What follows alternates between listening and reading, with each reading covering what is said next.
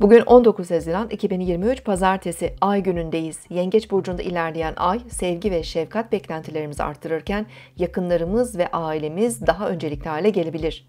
Evimiz, yaşadığımız mekanlar, ebeveynlerimiz, güvenlik, barınma, beslenme, mutfak işleri, mülk ve emlak konuları önümüzdeki iki gün ilgi alanımızda olabilir.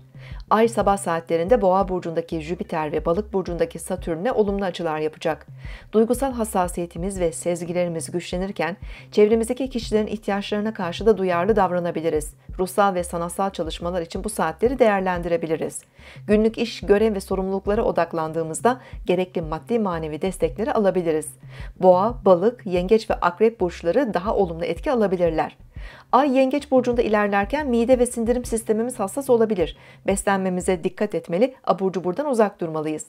Güneş ve Neptün arasında etkili olan dik açının etkisiyle hayal gücümüz ve sanatsal ilham artabilir. Vizyoner olabiliriz. Ancak bazı hayal kırıklıkları, yanılgılar, aldanmalar da oluşabilir. Su, sıvı ve kimyasallardan gelebilecek zararlar, bağımlılıklar, alerjiler, otoimmün sorunlar, hava ve doğa olaylarında dengesizlikler, aşırı yağışlar görülebilir. Değişken burçlar, ikizler, başak, yay ve balıklar daha fazla etki alabilir. Siz de şimdi kanalımıza abone olun, yorumlar bölümüne sorularınızı yazın, sürprizlerimizden haberdar olun.